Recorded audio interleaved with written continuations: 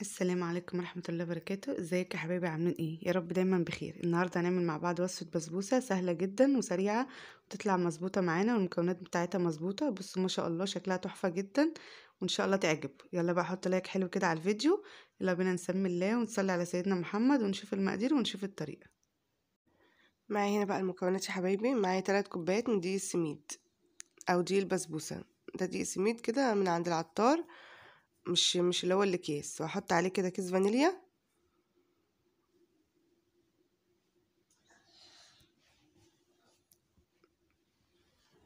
ومعلقتين من جوز الهند.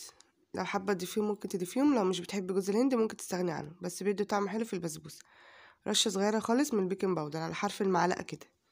هقلب بقى المكونات دي كلها كده مع بعض. وبقى الخليط كده معايا جاهز. هسيبه بقى على جنب ونشوف المكونات التانية اللي معايا. معايا هنا نص كوباية من السكر كوباية إلا ربع من السمنة كوباية إلا ربع من اللبن اللي هو الحليب. ومعايا هنا هحتاج معلقة من عسل الجلوكوز في حاجة كده هتحط على النار هحط نص كوباية السكر. واحط عليها الحليب والسمنة. هنحط كده المكونات كلها على بعض. الطريقة دي سهلة جدا وناجحة من أول مرة. جربيها إن شاء الله تعجبك. في عشر دقايق هتبقى عاملة أحلى صينية بسبوسة. نزلت كده المكونات كلها على بعض. هضيف بقى عليهم معلقة كبيرة من عسل الجلوكوز. لو متوفر عندك ضيفيه أو ممكن بداله شربات تقيل أو عسل نحل. لو مش متوفر خلاص. هقلب بقى المكونات دي كده وهرفعهم على النار لغاية ما المكونات كلها تدوب. مش عايزاهم يغلوا أنا عايزاهم يبقوا دافيين بس. هرفعهم كده على النار لغاية ما السمنة تسيح ويدفوا كده معايا. خلاص كده أنا جهزت الصينية مقاس 30 ودهنتها سمنة وأصب بقى الخليط بتاعي دافي مش بيغلي. السكر كده داب والسمنة دابت معايا. هقلب بقى الخليط كويس كده مع بعضه من تحت لفوق كده واخلط المكونات كلها لغاية ما السميد كله يتشرب معايا كده المواد السائلة كلها. هقلبها بقى كده كويس. المقدار ده بيعمل صينية مقاس 30 أنا جهزت كده الصينية ودهنتها سمنة زي ما أنت شايفة كده. هقلبها بقى وبعد كده أحطها في الصينية. دي أسهل طريقة يا جماعة البسبوسة.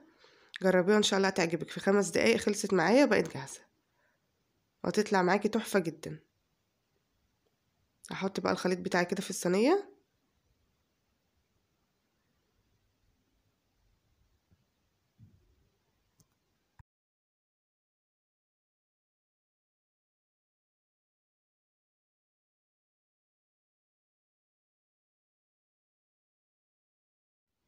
هوزع بقى الخليط كويس كده بالمعلقة كده وافرده في الصينية كلها وزعه عشان يبقى كله بقى متساوي في الصينية.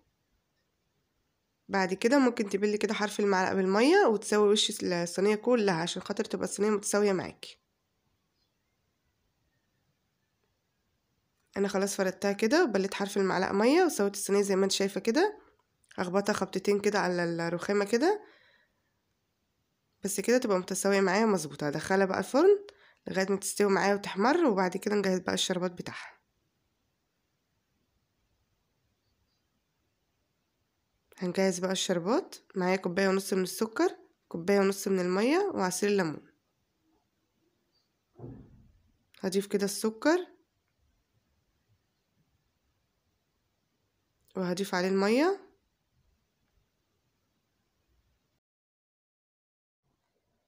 وهضيف بقى عليه عصير الليمون.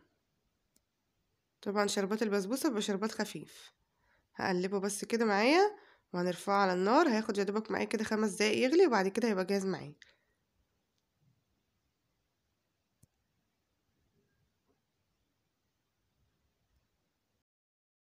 هنا خلاص البسبوسة خرجت معايا من الفرن. هي سخنة والشربات كمان سخن. هسقيها كده.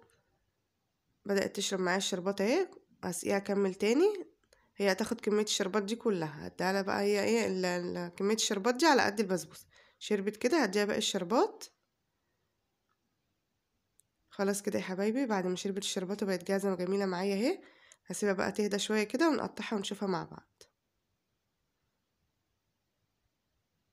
أنا سيبتها بقى تبرد شوية عشان خاطر أقطعها لكم ونشوفها كده سوا.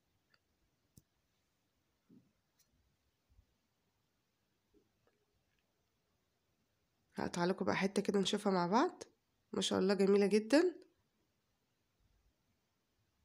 بسم الله.